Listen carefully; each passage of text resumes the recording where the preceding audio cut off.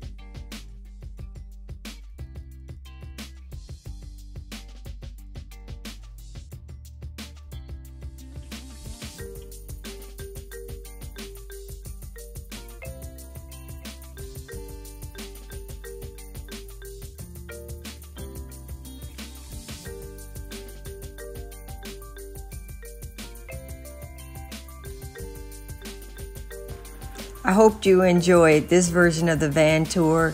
It was simple, just a lot of photos and music, and I made the notes as you saw so you can get a better idea without the clutter or distraction of my things.